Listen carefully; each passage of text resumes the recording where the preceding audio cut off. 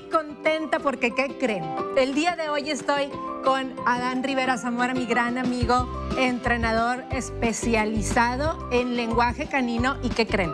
Traemos regalos porque él escribió un libro recientemente que se llama Mi amigo de cuatro patas y yo y este libro ya está disponible en las plataformas en internet y nos va a platicar Adán el día de hoy por qué es tan importante que aprendamos a comunicarnos con los perros. Adán, ¿cómo estás? Bien, gracias por la invitación. Buenos días a todos. Pues eh, básicamente el poder comunicarse con ellos em, es importante eh, porque, porque eso nos va a beneficiar eh, en nuestro día a día con nuestros mascotas, nuestros perritos. Si nosotros los dejamos, em, vamos a decir, eh, que sea su naturaleza la que dicte nada más, eh, pues vamos a tener, no, vamos a, no nos vamos a, comunicar de manera efectiva.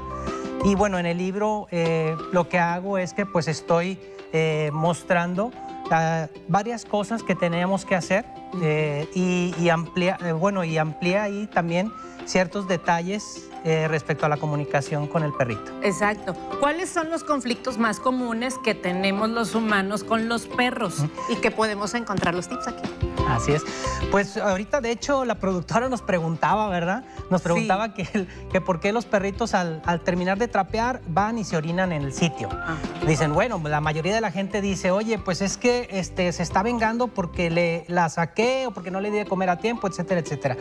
Y yo le digo, no, simplemente lo que está sucediendo es que al estar limpiando hay bases amoniacales dentro de, la, de las fórmulas de limpieza y eso es con un pseudoaroma de los orines del perrito. Entonces, por eso precisamente el perrito lo que hace es va y marca nuevamente ahí. Le estamos dando una indicación de forma indirecta de que orine otra vez ahí. Exacto, entonces, pues lo siento mucho por los productos de limpieza, pero entonces, ¿con qué deberíamos de limpiar para evitar esta situación? Pues eh, sí se hacen, hay productos también de limpieza especializados en, eso, precisamente en las mascotas, que también es válido. Y lo puedes encontrar en este libro.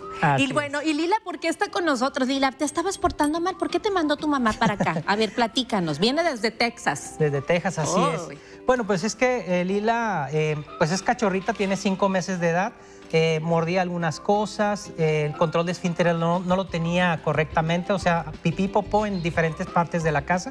Entonces estuvimos trabajando a lo largo de cinco semanas con ella, ya casi termina su, curso y se, regresa a casa. Lo bueno fue que nos, nos, nos, entendió porque ella habla inglés, no español. ¡Ah, excelente! Eso me encantó.